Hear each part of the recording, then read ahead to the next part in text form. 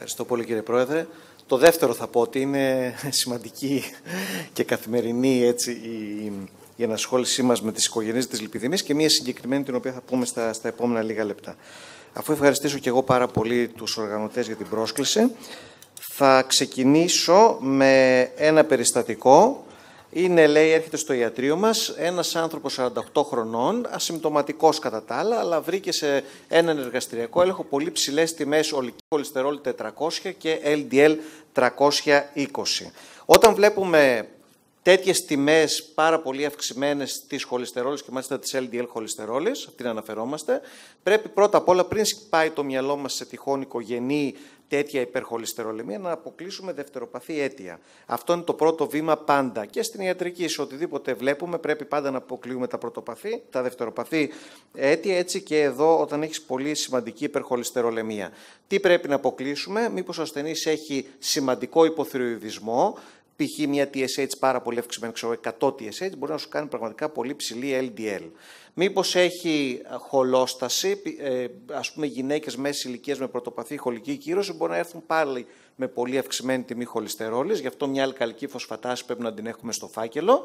Και τέλος, μήπως έχουν νεφρωτικό σύνδρομο, το νεφροσικό σύνδρομο, το οποίο δεν είναι σπάνιο, το βλέπουμε καμιά φορά. Μια απλή γενική ούρ θα σου δείξει τρεις σταυρούς λεύκομα και τότε έχεις κάνει τη διάγνωση του δευτεροπαθούς αιτίου. Επομένως, είναι πολύ εύκολο με μια TSH, μια αλκαλική φωσφατάση και με ένα stick ούρων πρακτικά να αποκλείσει τα πιο σημαντικά δευτεροπαθή αίτια μιας τέτοιας σημαντικής υπερχολυστερολεμίας. Στον ασθενή μας τα κάναμε αυτά, ήταν ε, ε, απόλυτα φυσιολογικά, δεν καπνίζει, είναι αδύνατος, έχει ε, πολύ καλή πίεση, επομένως ένας συμπτωματικός άνθρωπος μόνο με πρωτοπαθή υπερχολυστερολεμία. Το δεύτερο βήμα στη διερεύνηση είναι να δούμε το οικογενειακό αλλά και το ατομικό αναμνηστικό. Να δούμε αν αυτός ο άνθρωπος έχει πάθει καρδιαγγειακή νόσο, γιατί όταν βλέπεις τέτοιες ψηλές τιμές χολυστερόλης ενδιαφέρει αν έχει περάσει έμφραγμα, αν έχει μια σημαντική στένωση καροτίδων, αγκιακό εγκεφαλικό επεισόδιο που λέγαμε προηγουμένως δεν ήταν, ήταν αρνητικό για τον ίδιο τον ασθενή, αλλά όταν ρωτήσαμε το οικογενειακό ιστορικό και εδώ ήμασταν τυχεροί γιατί μας έδωσε καλό ιστορικό, είδαμε και να το δούμε αυτό με εικόνα, ότι λέει ο πατέρας του στα 43 χρόνια είχε πεθάνει από στεφανία νόσο, αλλά δεν έχει πληροφορίες να μας πει τι χολυστερόλια, όχι τότε λέει δεν τη μετρούσανε και ήταν και ευνίδιος ο θάνατος, αποδόθηκε στεφανία νόσο, άρα έχουμε όμως πρώιμη καρδιαγγειακή νόσο και μάλιστα θάνατο στην οικογένεια, πρώτου βαθμού συγγενή.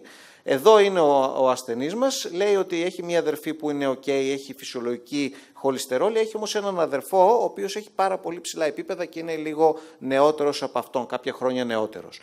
Πήγαμε να δούμε και στα δύο του παιδιά, έχει ένα αγόρι 8 χρόνων και ένα κοριτσάκι 6 ετών, δεν είχε, ε, δεν είχε κάνει εξετάσει τα παιδιά, του είπαμε να κάνει, το αγοράκι ήταν εντάξει, το κοριτσάκι είχε LDL 160 που είναι βέβαια πολύ ψηλή για αυτή την ηλικία. Βλέπουμε λοιπόν φτιάχνοντας αυτό το διάγραμμα αμέσως αμέσως ότι κάτι διατρέχει την οικογένεια, κάτι το οποίο προκαλεί ψηλή χολυστερόλη αλλά και πρώιμη καρδιαγγειακή νόσο και αυτό το κάτι φαίνεται ότι είναι στα 50 περίπου της 100 των μελών της οικογένειας, άρα κληρονομείται σαφώς και κληρονομείται με τον αυτοσωμικό επικρατούντα χαρακτήρα. Εδώ ήμασταν τυχεροί, υπάρχουν και άλλα περιστατικά που μπορεί να, έχεις μόνο, να είσαι μόνος χωρίς αδέρφια και ο γονιός να έχει πεθάνει και να μην έχουμε πληροφορίες, μπορεί να είσαι υιοθετημένος, μπορεί να, να έχεις μαλώσει με την οικογένειά σου και να μην κρατάς επαφές. Υπάρχουν πολλά τέτοια περιστατικά που δεν μπορούμε να βγάλουμε άκρη από το οικογενειακό ιστορικό. Τις περισσότερες φορές με λίγο υπομονή και επιμονή καταφέρουμε να πάρουμε λοιπόν τέτοιες πληροφορίες. Πρέπει να κάνουμε και φυσική εξέταση Όσο περίεργο και αν ακούγεται όταν αντιμετωπίζουμε ασθενή με δυσλιπιδεμία, πρέπει να τον εξετάζουμε. Αυτός λοιπόν ο ασθενής, όταν είδαμε τα χέρια του, είχε αυτά εδώ τα γρομπαλάκια τα οποία ήταν ε, κάτω από το δέρμα, στους τένοντες και κινούνταν καθώς κινούσε το χέρι του. Αυτά λέγονται τενόντια ξανθώματα και αν κανείς τα δει, ουσιαστικά είναι σχεδόν σίγουρος ότι πρόκειται για κληρονομική τέτοια οικογενή υπερχολυστερολεμία. Τα βλέπει κανείς επίσης και στους τένοντες τους αχυλίου. Βλέπουμε εδώ ε, αυτό το γρομπαλάκι, το οποίο επαναλαμβάνω είναι κάτω από το δέρμα. Εδώ εικόνες από τη βιβλιογραφία με πολύ παχύ αχίλιο και ας μην έχει υγρομπαλάκι, όταν έχει τόσο πολύ χοντρό αχίλιο είναι ε, κατά κάποιο τρόπο ισοδύναμο. Εδώ στα χέρια, όπως είπαμε, και εδώ επίσης στα, στις ε, γαστοκνημίες πολλαπλά γρομπαλάκια, στα χέρια επίσης, λοιπόν στα γόνατα και κοιτάζουμε και τα μάτια. Αυτό πάντα το κοιτάζουμε. Βλέπουμε λοιπόν εδώ στον ασθενή μας και εδώ στη βιβλιογραφία φαίνεται λίγο πιο καλά η φωτογραφία, έναν λευκό δακτύλιο ο οποίος περιβάλλει ε, ακριβώς εδώ το, το χρωματισμένο μέρος του ματιού, μεταξύ λοιπόν του σκληρού και της ήρυδας, αυτός ο χρωματιστός δακτύλιος, αυτός ο λευκό πώς δακτύλιος, αν το δούμε σε ένα μεγάλο άτομο μεγάλης ηλικίας δεν σημαίνει πολλά πράγματα, αν το δούμε σε ένα νέο άνθρωπο κάτω ιδίως από 45 χρονών, άντε 48 όπως ήταν ο δικός μας ο ασθενής, λέει ότι κατά πάσα πιθανότητα πάσχει από κληρονομική υπερχολυστερολεμία. Να λοιπόν που πρέπει να κάνουμε και φυσική εξέταση. Τα ξανθελάσματα σε μερικούς ανθρώπους, εδώ δεν είναι το, αυτό το περιστατικό, είναι από άλλον ασθενή, βλέπουμε αυτές τις κυτρινοπαίε μαλακές πλάκες στα μάτια και μας πάει στο νου ότι ε, μπορεί να έχουν υπερχολυστερολεμία. Όντως, πολλοί από αυτούς τους ανθρώπους έχουν υπερχολυστερολεμία. Δεν σημαίνει πάντα ότι είναι όμως αυτή η κληρονομική που περιγράφουμε τώρα, ούτε σημαίνει ότι όλοι οι άνθρωποι με ξανθελάσματα έχουν υπερχολυστερολεμία. Αν όμως τα δεις, πρέπει να, δεν είναι διαγνωστικό κριτήριο για την οικογένεια, πρέπει να όμως να κάνεις ένα λιπιδεμικό προφίλ στον ασθενή σου. Τώρα, σε ό,τι αφορά τη διάγνωση, εδώ έχουμε δύο συνιστώσεις. Το ένα είναι το οικογενές, δηλαδή το 50% του πρώτου βαθμού συγγενών είχαν κάτι το οποίο προσανατολίζει προς την κατεύθυνση του κληρονομικού νοσήματος και μάλιστα με αυτοσωμικό επικρατούντα χαρακτήρα.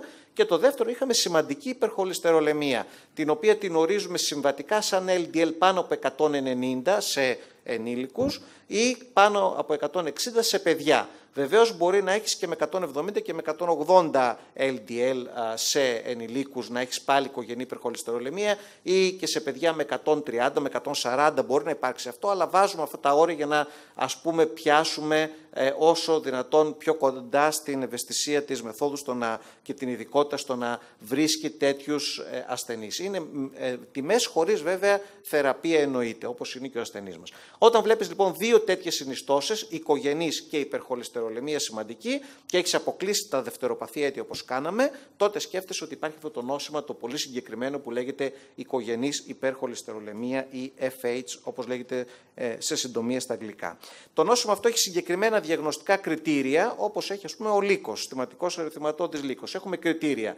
Χρησιμοποιούμε συνήθως τα Ολλανδικά, τα οποία ε, βάζουν, παίρνει κάποιους βαθμούς για το οικογενειακό ιστορικό, για το ατομικό σου αναμνηστικό, για τη φυσική εξέταση, ιδίως τα ξανθώματα και το ε, γεροντότοξο που είπαμε, τι LDL ξεκινάς και βέβαια, αν τυχόν έχεις γενετικό έλεγχο, γενετική απόδειξη, τότε τα πράγματα βέβαια είναι σίγουρο, δεν χρειάζεται άλλο κριτήριο, αλλά αν δεν έχεις, πρέπει να κάνεις αυτά τα κριτήρια. Α πούμε, στον ασθενή μας τα κάναμε, καταγράψαμε τι βαθμούς παίρνει και βλέπουμε ότι παίρνει πάνω από 8 βαθμούς. Οπότε η διάγνωση είναι σίγουρη ότι πρόκειται για σίγουρη οικογενή υπερχολυστερολεμία. Όταν 6 με 7 είναι πιθανή, όταν είναι 3 με 5 είναι λιγότερο πιθανή, αλλά πρέπει να τη σκεφτούμε και ενδεχομένως εκεί πρέπει να ζητήσουμε γενετικό έλεγχο για επιβεβαίωση.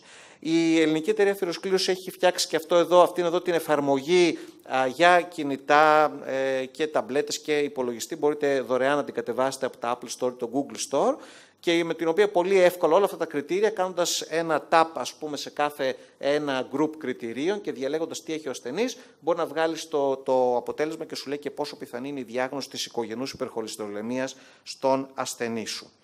Πού οφείλεται, ποιο είναι το γονίδιο που μεταδίδεται και το οποίο δημιουργεί αυτό το πρόβλημα, με μία μόνο διαφάνεια. Συνήθως το πρόβλημα είναι στον LDL υποδοχέα. Ο LDL υποδοχέας βρίσκεται στην επιφάνεια όλων των κυτάρων και κυρίως του υπατοκυτάρου και είναι αυτός ο οποίος συνδέεται με τα LDL σωματίδια που κυκλοφορούν, αυτά τα οποία μας κάνουν αθυρωμάτωση δηλαδή, και τα βάζει μέσα στο εσωτερικό του κυτάρου. Αν υπάρχει ένα πρόβλημα στο γονίδιο που κωδικοποιεί για τον LDL υποδοχέα, είτε δεν παράγεται καλά, είτε δεν πηγαίνει καλά στη μεμβράνη, είτε δεν ε, ανακυκλώνεται καλά, γιατί όπως θυμόμαστε αυτός ανακυκλώνεται και ξαναέρχεται πάλι στην επιφάνεια να πάρει και άλλη LDL, όπου και αν εντοπίζεται το πρόβλημα, με διαφορετική βέβαια βαρύτητα μπορεί να εκδηλωθεί το νόσημα, αλλά το νόσημα εκδηλώνεται. Άρα λοιπόν σχεδόν το 98% των περιπτώσεων αφορούν μεταλλάξεις του LDL υποδοχέα. Υπάρχει περίπτωση πιο σπάνια, 1-2%, να ο LDL υποδοχέας να είναι μια χαρά, αλλά η αποπρωτεΐνη Β που είναι πάνω στις LDL και η οποία συνδέεται με τον LDL υποδοχέα να έχει αυτή το πρόβλημα τη μετάλλαξη, άρα να μην συνδέεται καλά. Πολύ πιο σπάνια μπορεί να φταίει το PCSK9, το οποίο το έχουμε ακούσει πολλές φορές, είναι στην επικαιρότητα λόγω φαρμάκων που τον αναστέλουν. Αν βγάζεις λοιπόν εκγενετής πολύ PCSK9, αυτό ανατινάζει τους LDL υποδοχής και τους καταστρέφει και επομένως δεν έχεις LDL υποδοχής αρκετούς. Και τέλος, πολύ σπάνια υπάρχει μια μορφή λιγότερο από 1%, αυτό που λέμε αυτοσωμική υπολοιπόμενη, είναι η μόνη περίπτωση που μεταδίδεται το νόσημα αυτό με υπολοιπόμενο χαρακτήρα. Αυτό εδώ είναι μια πρωτεΐνη, ένας αντάπτορας εδώ, ο οποίος κολλάει με τον LDL υποδοχεία, τον βλέπετε και εδώ σε άλλη θέση, και καταφέρνει να τον φέρει σε συνάφεια με κάποια κυστίδια τα οποία υπάρχουν μέσα στο εσωτερικό του κυτάρου για να μεταφερθεί ο LDL υποδοχέας με το LDL σωματίδιο στα λισοσώματα και να γίνει τι πρόκειται να γίνει, δηλαδή να διασπαστεί LDL. Άρα αν δεν έχεις αυτό και μάλιστα με δύο γονίδια παθολογικά, τότε δεν γίνεται αυτή η ε, ε, συνάφεια του LDL υποδοχέα με το κυστίδιο και δεν προχωράει καλά η διαδικασία της ε, απομάκρυνσης των LDL από την κυκλοφορία. Γενετική λοιπόν διάγνωση έχουμε συνήθως με κλινική υποψία στο 60 με 70% αν κάνεις και γενετικό έλεγχο αποδεικνύει την διάγνωση. Υπάρχουν όμως λίγα περιστατικά που ενώ είσαι κλινικά σίγουρος με βάση τα κριτήρια που είπαμε δεν σου βγαίνει ο γενετικός έλεγχος ακόμη και αν ελέγξεις και τα τέσσερα αυτά γονίδια και δεν ξέρουμε τι συμβαίνει τότε. Είναι πολλά γονίδια παθολογικά σε πολυμορφισμούς που επηρεάζουν το μεταβολισμό και έτυχε να βρίσκονται στον ίδιο άνθρωπο. Υπάρχουν άλλα γονίδια που απομένει να βρούμε, δεν γνωρίζουμε. Όπως επίσης έχουμε και λίγα περιστατικά που επειδή έλεγξες στην οικογένεια, βρήκες ότι κάποιος έχει όντως τη μετάλλαξη, αλλά δεν έχει ψηλά επίπεδα LDL για να σκεφτείς οικογενή υπερχολυστερολιμία κλινικά. Σε αυτή την περίπτωση ενδεχομένως να υπάρχουν και άλλα γονίδια που κατεβάζουν την LDL ή να είναι πολύ νέα τα άτομα και εδώ είναι μια επίσης γκρίζα ζώνη. Συνήθως όμως η κλινική μας διάγνωση επιβεβαιώνεται με γενετική διάγνωση. Η γενετική βέβαια διάγνωση είναι δύσκολο να κάνουμε και διαθέσιμη εύκολα δεν είναι και ακριβή είναι. Δεν είναι πολύ εύκολη, οπότε συνήθως στην πράξη βασιζόμαστε στην κλινική διάγνωση και όταν θέλουμε να επιβεβαιωθούμε ή θέλουμε να ελέγξουμε τα παιδιά μιας οικογένειας, γιατί πρέπει να πάρουμε εκεί σημαντικές αποφάσεις για το αν θα τους ξεκινήσουμε θεραπεία από μικρή ηλικία, τότε συνήθως παραγγέλνουμε και τον γενετικό έλεγχο. Πόσο συχνή είναι, αυτό είναι τώρα ένα ερώτημα, το οποίο τέθηκε και στον τίτλο. Η συχνότητα είναι 1 προς τα 250 άτομα στο γενικό πληθυσμό υπολογίζουμε σήμερα, άρα πρόκειται για πολύ συχνό νόσημα και αφορά περίπου 40.000 ασθενείς στην Ελλάδα υπολογίζουμε, γιατί δεν ξέρουμε πόσοι ακριβώς είναι. Αν κανείς δει τη συχνότητά του σε σχέση ανά χιλιάδες γεννήσεις, χίλιες γεννήσεις, σε σχέση με άλλα κληρονομικά νοσήματα, τα οποία μας απασχολούν, όπως είναι η ε, ας πούμε δρεπανοκυταρική νόσος ή η κυστική νόση, που είναι πολύ σημαντικά νοσήματα, βλέπουμε πόσο πολύ πιο συχνή είναι η οικογενής υπερχολυστερολεμία. Υπολογίζεται ότι κάθε ένα λεπτό γεννιέται ένα παιδί στον κόσμο με οικογενή υπερχολυστερολεμία. Άρα είναι πολύ συχνό νόσημα, αποκλείεται να μην το δείτε ασκώντας ιατρική και βλέποντας ασθενείς. Θεωρείται η πιο συχνή γενετική νόσος του μεταβολισμού. Άρα λοιπόν συχνό σίγουρα. Ε, δεν είναι καταγεγραμμένο. Δεν, έχει, δεν το έχουμε μάθει εμείς οι γιατροί, δεν το έχουμε διδαχτεί ενδεχομένως και στη σχολή, ε, δεν το πολυκουβεντιάζουμε, δεν είναι καταγεγραμμένο, δεν το διαγνώσκουμε. Απλώς λέμε, μένουμε στο γεγονός ότι κάποιος έχει πολύ ψηλά επίπεδα χολυστερόλης. Δεν καταλαβαίνουμε δηλαδή ότι πρόκειται για ένα πολύ συγκεκριμένο νόσημα. Οι Ολλανδοί, άντε και οι Νορβηγοί το έχουν καταγράψει σε μεγάλο ποσοστό. Ε, η Ελλάδα δεν υπάρχει πουθενά, αλλά ούτε και άλλες χώρες όπως οι Ηνωμένες Πολιτείες δεν ακριβώς λόγω αυτής της άγνοιας ή της αγνόησης, το πούμε έτσι, του προβλήματος. Σε μια τέτοια προσπάθεια να καταγράψουμε το πρόβλημα και στη χώρα, έχουμε δημιουργήσει ένα registry και προς το παρόν υπάρχουν ε, έτσι 11 μεγάλα κέντρα εξειδικευμένα που βλέπουν τέτοιους ασθενείς και τους καταγράφουν και χρειαζόμαστε πάρα πολύ τη βοήθεια όλων όταν βλέπουν τέτοια περιστατικά να τα στείλουν απλώς για καταγραφή, δεν λέω για να θεραπευτούν, απλώς για καταγραφή τουλάχιστον σε κάποιο από τα κέντρα τα οποία βρίσκονται κοντά σε διάφορες πόλεις και υπάρχουν πολλά τέτοια και στην Αθήνα. Ε, υποεκτιμημένη απειλή, συχνό είναι, είναι υποεκτιμημένη απειλή πόσο επικίνδυνη είναι η οικογενής, γιατί μας ενδιαφέρει, μας ενδιαφέρει γιατί προκαλεί πρόημα στεφανία νόσο.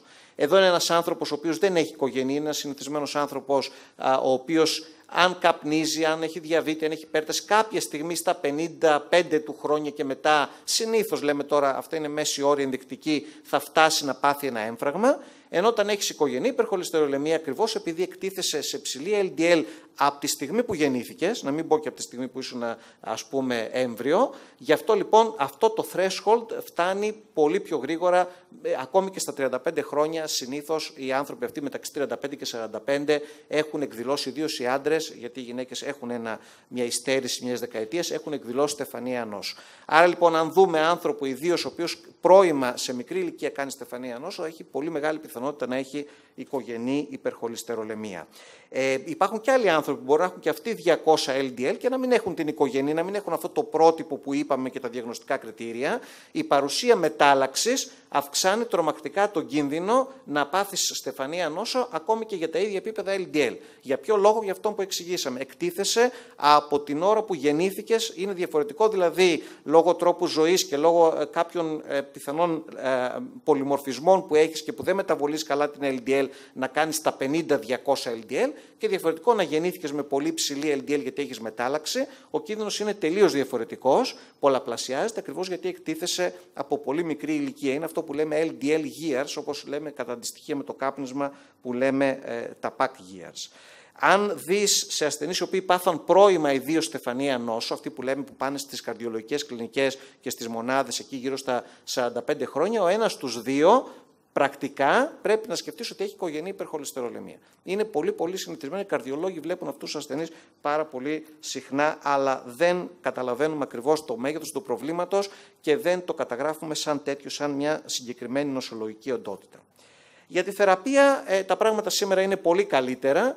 Οι στόχοι που βάζουμε είναι για τα παιδιά 135, είμαστε λίγο πιο ελαστικοί. Για τους ενηλίκους βάζουμε το 100 σε όλους και βάζουμε το 100 γιατί είπαμε ότι εκτίθενται από πολύ μικρή ηλικία, έτσι, επομένως θεωρείται μια κατάσταση ψηλού κινδύνου. Και για αν έχεις βέβαια στεφανία νόσο ή διαβήτη μπαίνει κάτω από 70, αυτός ο γενικός στόχος.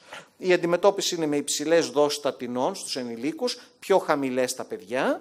Ε, μετά την ηλικία των 10 ετών, περί 8 με 10 ετών ή και νωρίτερα, εξαρτάται τώρα το, την περίπτωση, ξεκινάμε θεραπεία, ε, εζετιμίμπη σαν δεύτερο βήμα και σήμερα τα πράγματα είναι πολύ πιο εύκολα για να φτάσουμε στο στόχο της θεραπείας με τους αναστολείς του PCSK9. Δείχνω απλώς έτσι μια μελέτη με το αλυρόκουμαμπ, ασθενείς που πήραν υψηλή δόση στατίνης και είχαν μείνει στο 155 LDL, γιατί αυτοί μπορεί να ξεκινάνε από πολύ ψηλά επίπεδα. Θυμίζω, το περιστατικό μας είχε 340, αν δεν απατώμε, LDL. Πολύ δύσκολο θα τον πά στο 100, ακόμα και με τη δυνατότερη στατίνη, ακόμη και με ζετιμίμπη μαζί. Ε, λοιπόν, μπορεί να σταματήσει το 155. Έχεις λοιπόν δίνεις ένα μονοκλονικό αντίσωμο που πιάνει εκείνη την PCSK9 και το 155 γίνεται 77. Μπορεί να μειώσει 50-60% την LDL και να βάλεις πρακτικά τους ασθενείς ακόμη και σε δύσκολους στόχους θεραπείας που ούτε παλιά τους ονειρευόμασταν ότι θα μπορούσαμε να τους φτάσουμε. Άρα Αρκεί να κάνουμε τη διάγνωση, έχουμε πολύ ωραία όπλα σήμερα να θεραπεύσουμε πολύ καλά τους ασθενείς μας. Η διαφορική διάγνωση θα γίνει από δύο άλλες καταστάσεις, την οικογενή μεικτή δυσλιπιδεμή και την πολυγονική υπερχολυστερολεμία. Η οικογενής μεικτή ε, είναι μια περίεργη γενετική και αυτή νόσος, όπου χαρακτηρίζεται από μεγάλη πατική παραγωγή της κύριας από πρωτεΐνες που έχουν τα αφιρογόνα σωματίδια που είναι από πρωτεΐνη Β και βλέπεις μέσα στην οικογένεια ότι υπάρχει ένα περίεργο προφίλ. Ε, το 1 τρίτο των μελών της οικογένειας έχει ψηλή χολυστερόλη, το 1 τρίτο έχει ψηλά τριγλικερίδια και το 1 τρίτο έχει και τα δύο μαζί. Και ο ίδιος ο άνθρωπος που σου έρχεται, σου έρχεται πολλές φορές με ψηλή χολυστερόλη, ψηλά τριγλικερίδια, άλλες φορές ενώ δεν του έχεις δώσει φαρμακευτική θεραπεία, ε, έρχεται με ψηλά τριγλικερίδια μόνο, άλλες φορές έρχεται και με τα δύο μαζί, άλλες φορές μόνο με χολυστερόλη.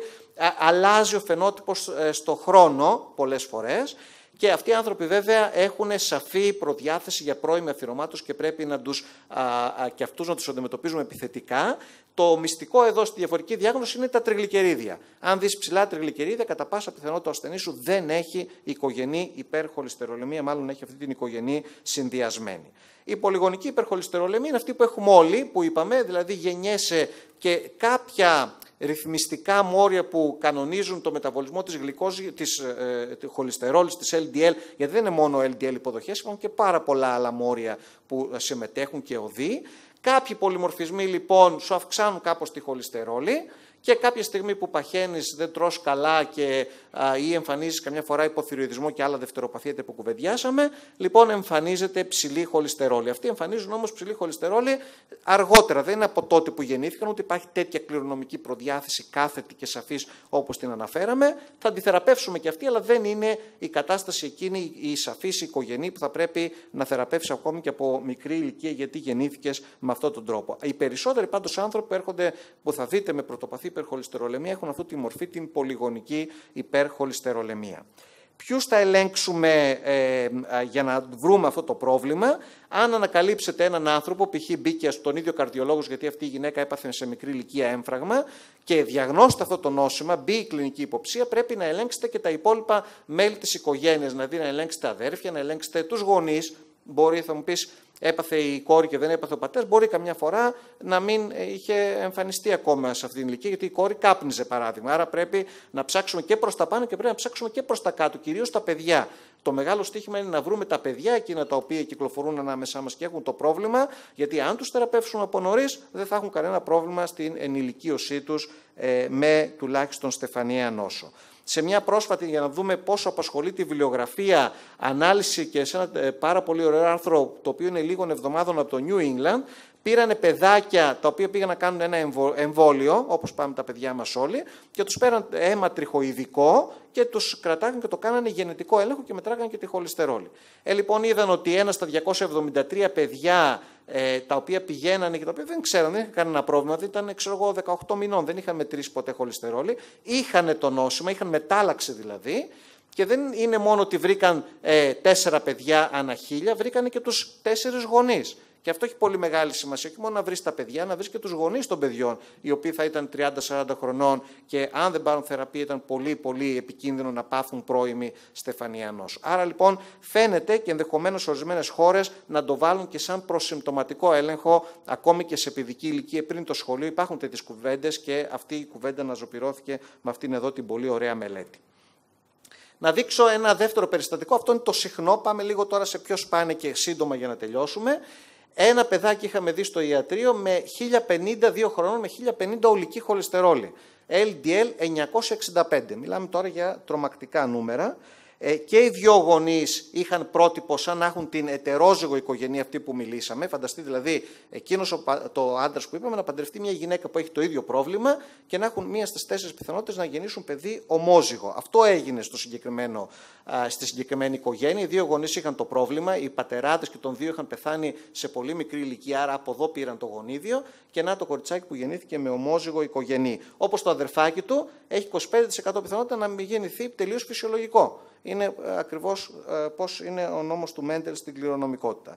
Το παιδάκι ανησύχησε ουσιαστικά οι γονείς του γιατί είδαν αυτό εδώ το σημαδάκι στο ποδαράκι του το οποίο πήγε σε δερματολόγο βασικά και λέει αυτό σαν λίπος μου φαίνεται δεν πάει να, το, να δεις τι χολυστερόλη έχουν ένας ευαισθητοποιημένος δερματολόγος και μας το στείλε. Σε άλλες περιπτώσεις βλέπουμε πιο εντυπωσιακά ευρήματα όπως εδώ αυτά τα, εξα, τα ξανθώματα ιδίως μεταξύ των δακτύλων. Αν δείτε τέτοιες πλάκες μεταξύ των δακτύλων είναι σχεδόν διαγνωστικές ομοζύγου οικογενούς ή στους αγκώνες ή εδώ είναι στο Lancet ένα παιδάκι το οποίο πέθανε 6 χρονών. Βλέπετε, δεν βλέπετε καθόλου εδώ ε, πρόστιο κατιόντα, έχει κλείσει τελείως και ε, είχε αυτά τα σημάδια που δείχνει ακριβώς η 1200 χολυστερόλη, είναι αυτά τα τραγικά περιστατικά και όλα αυτά τα περιστατικά σε αυτά τα παιδιά, αν ακούσεις, βάλεις το στοσκόπιο στην αορτική, θα δεις ε, φύσιμα γιατί κάνουν ε, στένωση της βαλβίδας, ακριβώς γιατί η χολυστερόλη πάει και κάθεται σε εκείνο το σημείο.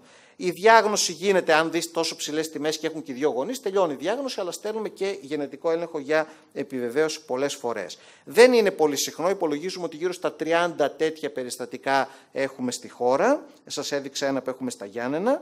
Δεν λειτουργούν τα φάρμακα, ωστόσο, αυτό είναι ένα μεγάλο πρόβλημα. Σκεφτόμαστε ενδεχομένως την LDL αφαίρεση και έτσι κάναμε και σε αυτό το περιστατικό. Έχουμε και εμείς στα Γιάννενα κέντρο που είναι σαν τεχνητός νεφρός μία στις 10 μέρες. Πας και βλέπεις το φίλτρο φίλτρο μετά την αφαίρεση πώς ε, γίνεται, γιατί αφαιρέθηκε ό,τι περιέχει από πρωτεΐνη Β.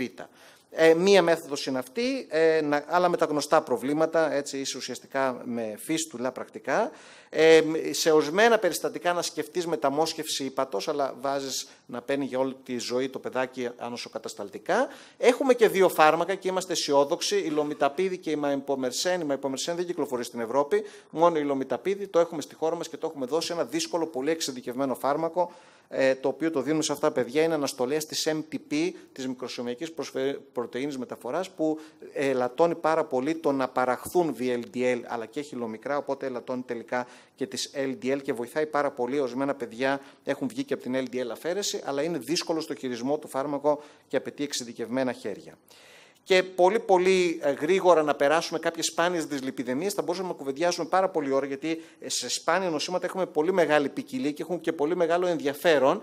Ε, να πω την οικογενή χιλομικρονεμία, έρχεται κάποιο παιδάκι και έχει πάνω από 1000 τριγλικερίδια, 880 ή 1000. Όταν βλέπουμε τόσο ψηλά τριγλικερίδια, σημαίνει ότι κυκλοφορούν χιλομικρά. Γιατί κυκλοφορούν τα χιλομικρά όταν είμαι νηστικός, γιατί έχω μια μετάλλαξη συνήθως στη λιποπρωτεϊνική λιπάση, το ένζυμο εκείνο το οποίο πρέπει να διασπάσει τα χιλομικρά, τα οποία έχουν μέσα όλο το λίπος που απορρόφησα όταν έφαγα ένα πλούσιο σε λίπος γεύμα. Τι παθαίνουν αυτά τα παιδάκια, δεν παθαίνουν αθυρωμάτωση, είναι πολύ μεγάλα αυτά τα χιλομικρά για να μπουν στο αγκιακό τείχομα, παθαίνουν όμως οξία παγκρεατίτιδα. Πονάει η κυλίτσα, ε, δεν μπορείς να καταλάβεις το τρέχουν στο γιατρό και είναι οξύες παγκρεατίτιδε και έχουν και ορισμένα εντυπωσιακά ευρήματα, όπως ας πούμε αυτός ο ορό μετά από φυγοκέντρηση που είναι σκέτο λίπος και έχει 5.000 τριγλικερίδια.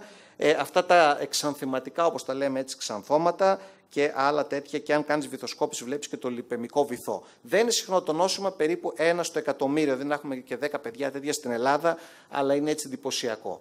Και να τελειώσω και με αυτό, την οικογενή δις β λιποπρωτεϊνεμία, η οποία είναι λίγο πιο συχνή, είναι ένα στα 10.000 άτομα, ε, άρα θα έχουμε σίγουρα τέτοιους χίλιους ασθενείς στην Ελλάδα.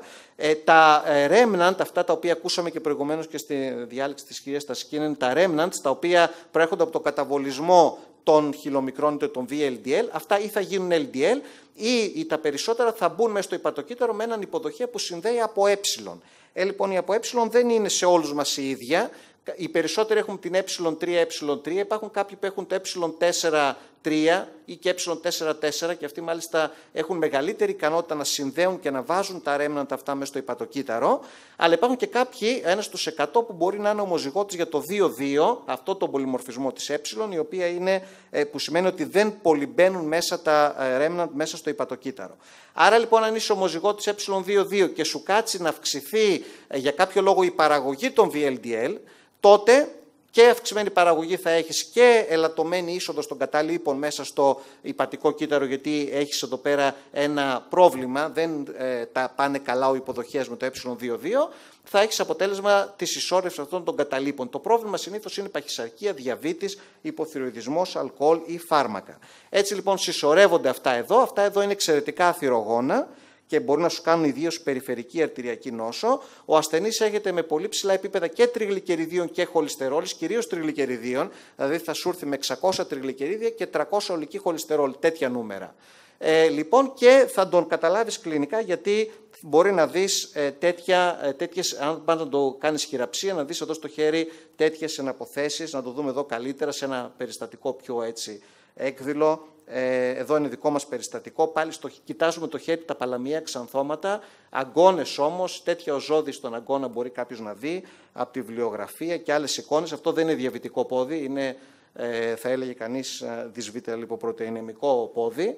Λοιπόν, και ακόμη και στο αυτή μπορεί να δεις τέτοιες ακριβώς ε, εικόνες. Λοιπόν, νομίζω όμως ότι πρέπει να τελειώσω. Έχει ενδιαφέρον, θα μπορούσαμε να μιλάμε πολλή ώρα και για την HDL, γιατί και οι διαταραχές σε HDL κάνουν τη λιπιδεμία θα ήθελα να τελειώσω και να αφήσω ένα μήνυμα ότι η οικογενής υπερχολυστερολεμία είναι αυτή που είναι κλινικά σημαντική και τη βλέπουμε όλοι. Τα άλλα είναι πιο σπάνια και όταν τα ανακαλύψουμε θα πάνε σε ένα ειδικό κέντρο. Όμως με την οικογενή θα ασχοληθούμε όλοι μας. Είναι η νόσο που είναι παντού γύρω μας και πρέπει να έχουμε ανοιχτά τα μάτια μας γιατί αφαιρεί ζωές. Παραδείγματος χάρη, επισκέπτεσαι το Λούβρο και θαυμάζεις τη Μόνα Λίζα. Μαθαίνεις όμως ότι πέθανε σε ηλικία μόλις 37 ετών, πάρα πολύ νέα. Και όταν ε, ε, ξέρεις το νόσημα, πας και κοιτάζει λίγο καλύτερα τα χέρια της και βλέπεις εδώ ένα ξάνθωμα, ή μπορεί να δεις και τα μάτια της και να δεις ένα ξανθέλασμα και να βάλεις διάγνωση ότι η Μόνα Λίζα πιθανά να είχε οικογενή υπερχολυστερολεμία. Σας ευχαριστώ πάρα πολύ.